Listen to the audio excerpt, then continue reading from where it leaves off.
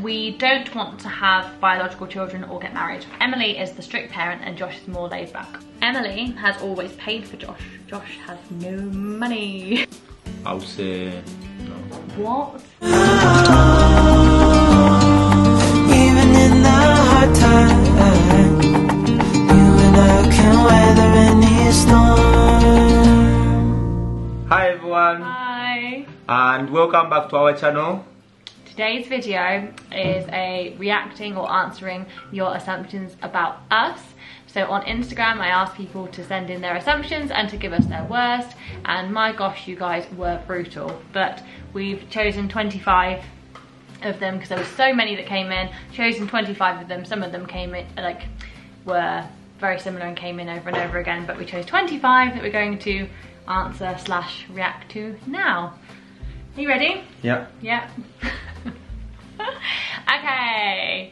Number one was that Emilie never lets Josh talk. Okay, she lets me talk, but the problem is I'm slow and have to Think go through or think what I'm going to talk because I don't know much English. Yeah, so I end up. Well, you do. You know a lot of English, but I can ask him a question and he stays silent for like five minutes before he answers. So I get impatient and I just fill the silence and I talk a lot more. Um, but I do want him to talk. So it's not about me not letting you talk, or it's like now, I'm not. Not not letting you. It's just I've got a lot to say, you know. But I want him to have a lot to say too. I want him to just interrupt me and say what he's got to say. I'll start one day. But he's getting better on videos, isn't he? If you think he's getting better, this Josh is getting better, give him a big thumbs up. okay, number two. This was a horrible one and came in a few nasty ways, but I've picked the one didn't come in so nastily, which was you see other people when you are apart. Completely no. And it's weird because some people always think just as you maybe because I'm black, I'll do something bad when Emilie is not there. Or yeah. Yeah, um, well, I think we can only both speak for ourselves and we've chosen to trust each other in this long distance relationship. Um, so, yeah, I am a very loyal person. I wouldn't even dream of it. So, yeah, we've chosen to trust each other. So, yeah. So the answer is no, we don't. Okay, number three. Josh does not want to leave Uganda because of his family. I would say no because I also want to take my kids and my family together. We I would like me and Emilie and the kids to be together. And with my mom and dad they are old enough to look after themselves so long as someone is there maybe take them to hospital or anything or if the money is there take them to hospital. So that's not the case I think it's hard as well because obviously Josh would miss his family if he was in like the UK or another country. But just as I miss mine when I'm here, and I spent almost five years here, so it would make sense for Josh to also spend some time in my country as well and away from his because it's all about compromise really. And obviously everyone misses their families if you're not in the country with them. But also like Josh can probably best support actually his family and his parents from the UK because yeah they're getting old and they can't work and things like that. So yeah. Yeah. So the answer is? No the answer is no. you don't want not want to leave. Obviously you'd miss them if you did leave. Okay number four. Josh is patient and Emilie gets irritated easily. No. Yes. You're not patient. I am. No you're not. very patient. No. Very patient No. with everything. You how are you how, how are you with like other drivers when they do something wrong I pass them no I don't No. You- will like stop the car and get out. what do you do when the other drivers I moan, yeah, I moan because they like, you know, they swerve and get in my way, but I don't, I don't know. I don't, I, I don't think I get irritated easily. It depends how stressed I am at the time. Okay, and this is, I guess, a little bit similar, is Emilie is the strict parent and Josh is more laid back. no I'm the strict parent Mm. I am Yeah, I feel like he is definitely stricter in like what he expects from the kids and things, and I'm a bit more. I don't know if loving is the right word, but maybe. Um, but that I end up like telling the children off a lot more simply because they don't listen to me as much and he just has to be there and his presence means they listen. So he doesn't have to actively tell them what to do all the time and tell them off because they automatically listen really well for Josh and less so for me. But no, I think he's definitely stricter than I am. Like a little bit too strict sometimes. Yeah. They're only babies. Got to be love, like, got to be kind to them. Okay. Number six. Emilie wears the pants. Hmm? Emilie wears the pants. Emilie wears the trousers. Emilie's in charge. Amazing in charge. You know what? I just think that most women in the family do. Maybe actually not in the culture here, but I feel like in my culture, a lot of women, you know, generally are. Yeah. So yeah. Obviously, Yes. you're equal, really, but the men just, you know, the women make the deci- decisions more because the men a bit more easygoing and will just go along with it, you know. But I actually do ask you pretty much everything. I, I don't make a decision by myself. I have an idea, I run it by you. Always. You want to confirm yes. Yeah, I mean, I want you to say yes to what I've come up with. right. Number seven, Emilie is the most organised. I would say no. What? I'm the most No, organized. absolutely not. I was even speaking to him like, was it yesterday? Saying to him, it absolutely drives me mad that he, we've got so much to do, and he never writes it down in a list that he can like strategically go through, or he never plans out his days. And oh my god, I have lists everywhere. Yeah, maybe too many lists, but I have to get down what's in my head into an organised like fashion in order to actually achieve things, to get it ticked off. Josh, he's never written a list in his life. because I a, And then it means that you don't prioritize stuff and you don't. No, no, no, no, no, no. You are not organised. You are so disorganised. And it's the one thing I'm saying to him I think will completely change our life if he starts planning his days out, which I know in Uganda they don't always go to plan. But you need some sort of plan. Plan A, plan B, plan C. I just wake up to what the day brings. But then things don't move enough. Because when you plan things, you end up very stressed and very what, not fulfilling a lot. but you forget things if you don't have it written down. And for me, the satisfaction of ticking something off my to do list. Anyway, yes, I am the most organised. Okay, number eight. Josh would prefer an adventurous date and Emilie a chilled one. Complete opposite. Even when we went to Sipi, Josh was like, why are we doing this and why are we not on the beach? Um, I just love adventure adventure stuff. Like I've done the kayaking on the white water here, I've done the white water rafting, um, and it was never thrilling enough. Like nothing nothing's ever scary enough. And this one, I'm trying to persuade him to be brave enough to go like calm water tubing because he's scared. So we're going to be doing that before I leave. Hope so. This one would much rather just sit in the, the- shade on a beach with some beer. But that you also do like doing like activities, I think. You're just not so used to it. Number nine is Emilie's family were not pleased with this relationship. That's not no, that's not true. I think it's I think it's I've, both my parents had kind of differing opinions. My mum possibly not massively pleased in the first place, to be honest, but mum's quite is cynical the right word? I think so. Skeptical, cynical, and of, of men generally, and yeah, and my dad I think was quite supportive because he then had someone looking after his daughter when um, she was out here. Me talking about me as if I'm not me. he had someone looking after, you know, someone was looking after me, and honestly, I don't think I would have survived those almost five years here, like as a single mum out here. It would have been really, really hard. So yeah, and yeah, I think they had differing opinions in the beginning. What did your parents think? Hmm? What did your parents think of our relationship? They're supportive. They said, yeah, go. I, I really love Josh's parents, but I can't communicate with them still. okay, oh, and that brings us to number 10. So we have trouble communicating or don't see eye to eye. We have trouble communicating. We don't like agree on things. Yes. We have trouble. Mm. Sometimes. So you elaborate. I've already got my thoughts. What, tell me more.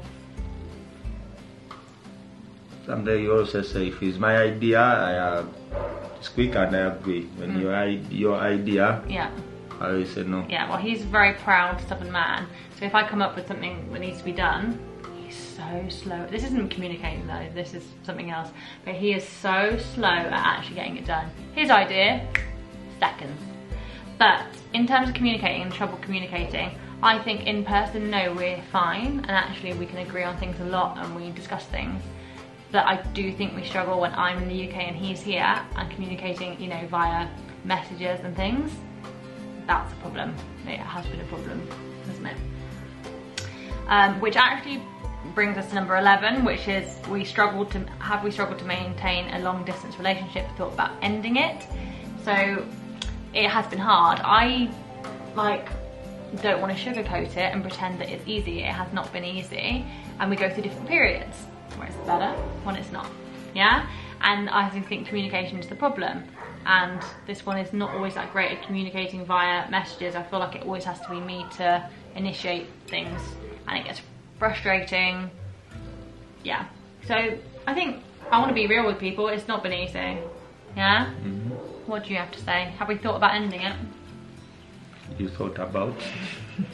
she thought about. I it. haven't necessarily thought about it. I have felt at times like I just can't keep keep doing it. I mean, we didn't see each other for a year and three months, and I think it was going somehow all right until about Christmas, so like the last three months, and I've just been honestly so fed up. And everyone in my life has said, once you get back to Uganda and see Josh again, it'll all be fine. Yeah, you just need to see him. And I've been like, I don't think so. I just don't think it's going to. I don't think so. And then it's it's been fine, hasn't it? so everyone was We are like we have never been apart. Yeah. So it is just really hard. A year and three months is a very long time to not see someone. So yeah, trouble communicating when we're apart. And yeah, have we thought about ending it? I'd say that yes, I have. Um, but thought about it, it is not necessarily like the same thing as like actually considering going through with it. Um, number 12 is that we are only together for the children. We are together for the children, but also we are together for the love Hmm, for us.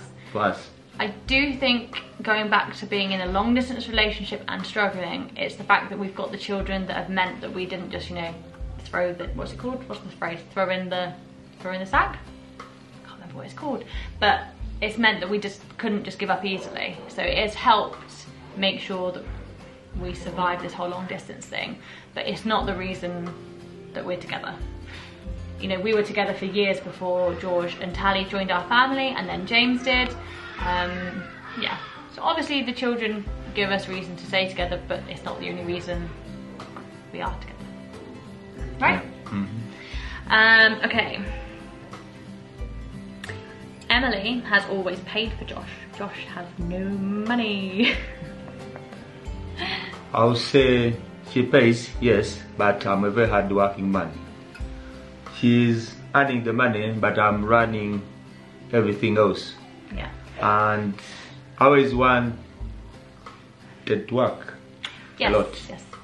So But just because we have a lot going around, we have kids and more organization, so I have to be helping with everything. If I leave her to work, for me to go and work, then nothing will move. nothing will move. Yeah, so Josh was working when I first met him, but because we started this organisation and there's just so much to be done all the time, it just made sense for him to be doing that because and he wants to work way more than I want to work and I'm hoping one day he'll be the one earning the money because I'd much rather be the one with the kids. Um, but obviously, especially now I'm in the UK, there's more opportun- opportunities for me to earn more money. Um, but Josh is constantly wanting to start up businesses and things, so it's not that he doesn't want to and he wants to live off me.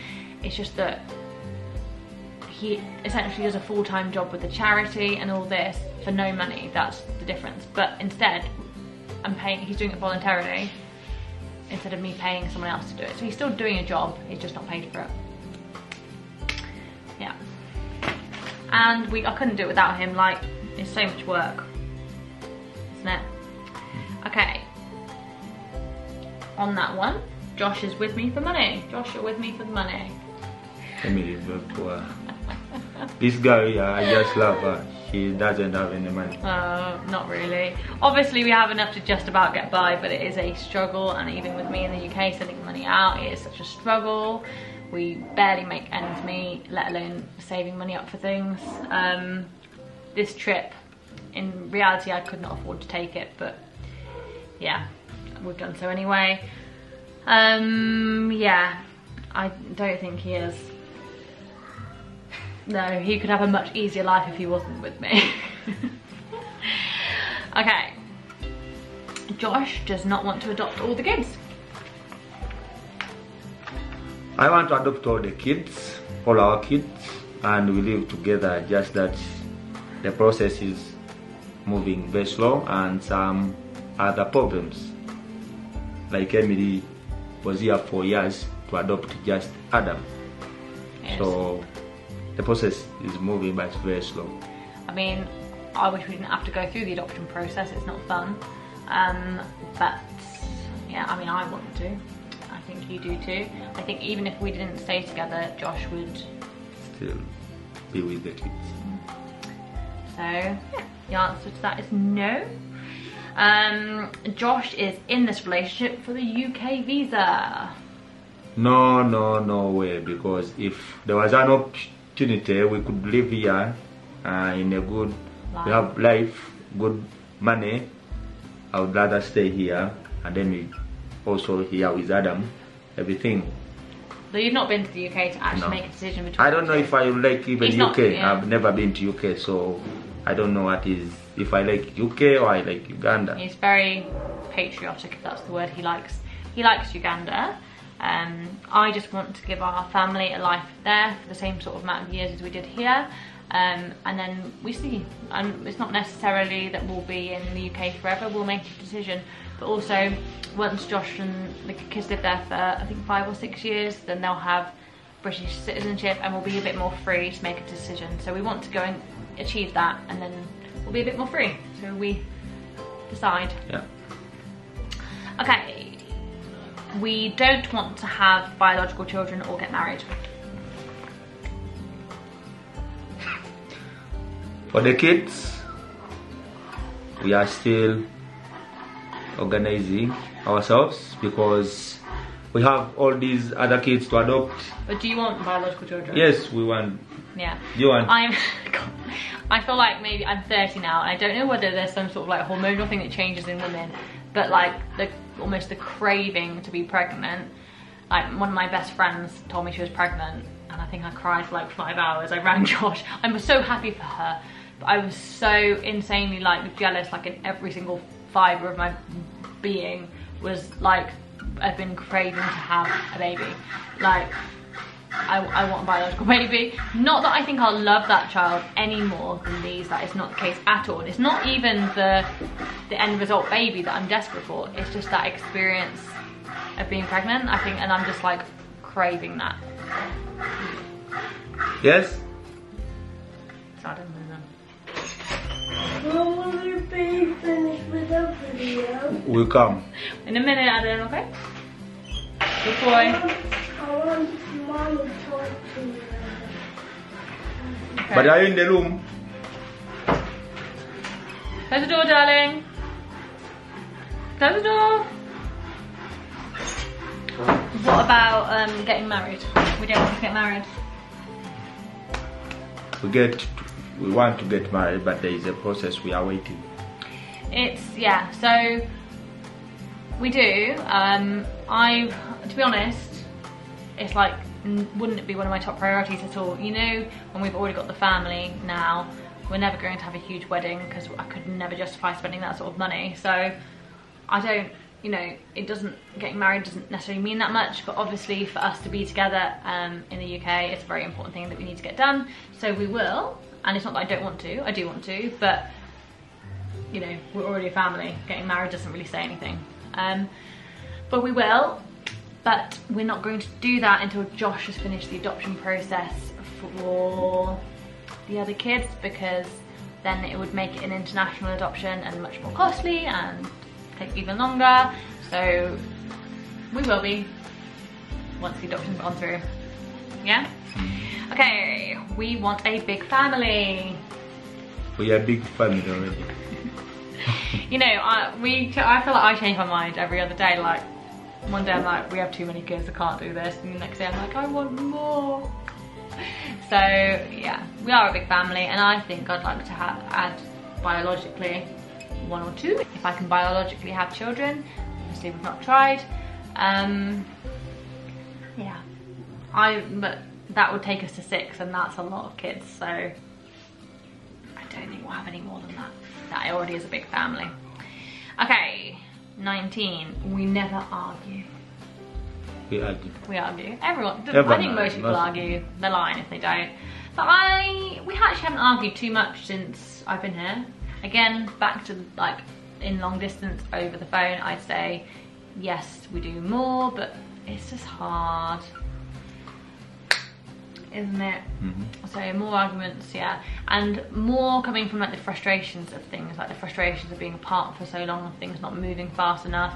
Me then maybe unfairly taking it out on Josh, Josh not showing me enough love over the phone. so, um, yeah, we do argue, but I don't think we've actually argued much in person, have we, since I've been back? Couple of disagreements here and there, but we all we sort them out. Okay, Josh loves me more than I love him. Absolutely not. I always think it's the other way around. I love her more than she No, loves me. no. Well, I show it more than he does, But I love and I say it more than you do. But I practically do it more than you do. How? Like now, I'm looking at you. Looking at me doesn't mean you love me. more than you. Sometimes we think that our plans won't work out. Mm, yeah. Do you? I. What do you think? You think sometimes you think. No, I don't think that's true. I mean, I have kind of decided not to put any form of timeline on anything anymore because I learnt with Adam's adoption that I'll just be disappointed constantly. So it's not that I don't think they'll work out, I just don't know when they will work out. Um, but I try, as I said, don't put a timeline on it so I don't get disappointed. But I am absolutely certain we will be a family all together um, because we will make sure of it, we will fight for it no matter how long it takes or what we have to do for it. So I do think they will work out. It's just when. What do you think? Exactly what just said. Yeah. Emilie just wanted to adopt a black child like an accessory like many other volunteers. What do you think? Do you think that's what I wanted? No, you moved here with no intentions of adoption. Hmm. When I came to volunteer, which I have said very openly, I don't really agree with anymore, but I did it anyway. And I held a five day old baby in my arms and was asked to look after him. It, in that moment, didn't matter if he was black, white, blue, green, whatever. You automatically, when you're looking after a baby one to one, I'm I, I'm pretty sure that most people would get very attached, um, especially when you're a very emotional person like me. Um, so I am very aware that in life, the colour differences and Adam's life will be very different to mine, but when I first came out and I was looking after him, it didn't matter what colour he was. I fell in love with him as a baby, and by like sort of, you know, I was acting as his mother, um, and I hadn't planned to adopt, but I fell in love with him, so I moved here to adopt him. So no, no accessory. You know, even this sort of adoption is quite rare in the UK. It's, I know in the States it's very common. Quite rare, to be honest, in the UK. Have you met any other British people adopting here? So no is the answer to that, but yeah, I get what it looks like from the outside in, but no one knows our relationship other than us, and yeah, Adam changed my life, was the love of my life, Um, hmm. Okay, 23. Adam is no longer around people that look like him in the UK. Now, the answer to this is yes, he is not, and that is not ideal at all and not my preference. Um, I know it's not good for him and he should have people that look like him around him, but our situation right now is just temporary. We're doing what we can with what we've got. Um, to get Josh and the others to the UK, I had to go with Adam by ourselves um, and I've had to move in with my parents so that's in the area they are in which isn't very diverse. It is getting better though. It is. I'm seeing a lot more like black people around um, which weren't there when I was growing up. So it is getting more diverse um, but not as much as I would like it to be. But we are just waiting for Josh and the kids to join us and then we'll see where we're going to live and what we're going to do. So not ideal but we're doing what we can the opportunities we've got at the moment. Mm-hmm. Mm-hmm. Okay, second to last one. Sorry, these are mostly for me now. I only wanted Adam. Now that I've got Adam, I don't care about the other kids. What do you think? Is that my No, she still loves the other kids as she loves Adam. Exactly. I love them so much. Pretty much my life revolves around them because even though I'm with Adam all day, every day, all the work I do is, you know, I send, I send almost all my money I earn out to look after these kids. I'm constantly trying to sort out them going to extracurricular things, going to school, send out boxes for things for them. I'm just, I love them all. I love, I love them all equally. I love different things about each of them and love them in different ways, which I don't think people talk about enough, but I do think you have a different relationship with each of your children um, but I don't love one more than the other. I love all of them and it's really hard being away from three of them. But yeah, I still want them. We're gonna do all we can to make sure our plans go ahead and we finish these adoptions. Okay, last one. Emilie and Adam won't want to leave Uganda without everyone. Absolutely yes, do not want to leave. We've got, I don't even want to talk about it. I keep getting teary every day. We've got, what, oh, it's what day is it today? Tuesday. Tuesday. We leave next week, very early Sunday morning. So a week and a half, I don't even want to talk about it because in Uganda time, that's like a minute, isn't it? It's gonna go so fast. This whole trip has gone so fast. It's really hard because I'm really torn because I would ideally like to stay longer, but Adam is settled in the UK. He's now missing school. It's not fair for him you know, football and all these things that he goes to. I also need to get back to make sure I'm earning money. But I don't want to go. I don't want to leave them. I don't want to go. You don't want you to go? I actually think it's going to be really hard on Tally this time. Mm. She is, she won't leave me alone. Will she? oh. Anyway, that's it. Thank you for watching this video. I hope those answered some of your assumptions and your questions. Um, yeah, helped you get to know us a little bit better. But we will see you again next time. If you don't already subscribe, please make sure you do. Um, yeah, we'll see you again next time. Bye guys.